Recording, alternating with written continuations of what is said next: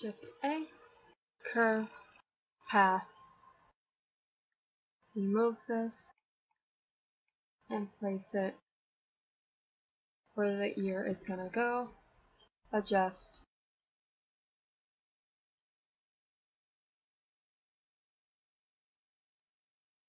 Select it, place, go to modifier tab, add modifier, mirror.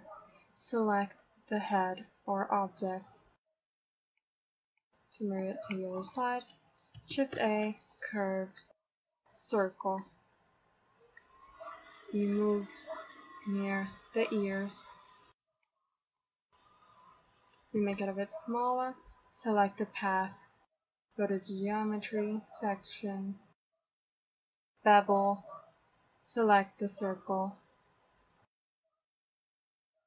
Change to edit mode. Select the edge dot and press Alt S to adjust. And just start selecting little dots and adjusting until you have the ear shape that you want.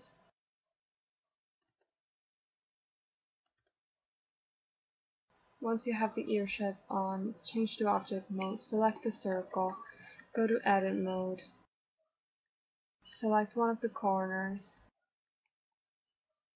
and then push inwards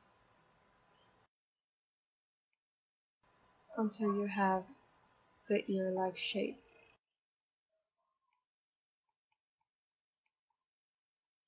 Adjusting until you have what you like. That's for the base of the cat ears. For the hairs, Shift A, curve, path, move, place near,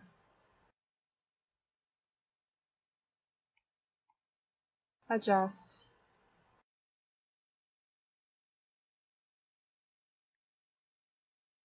Modifier, mirror, select the head, go to the geometry and increase the depth size. Go to edit mode and adjust the dots to look like hair strands and then move them around to make it have a more natural sort of like shape.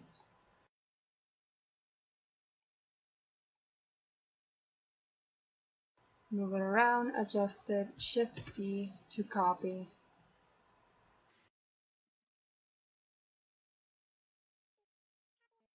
Adjust as desired.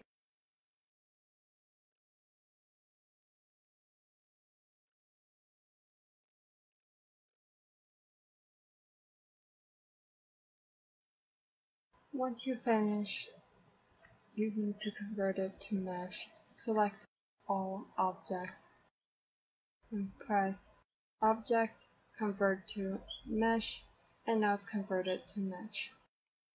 And there you go. That's how you create simple cat ears. Thank you for watching. Please subscribe if you want to get notified for more short tutorials. Bye bye.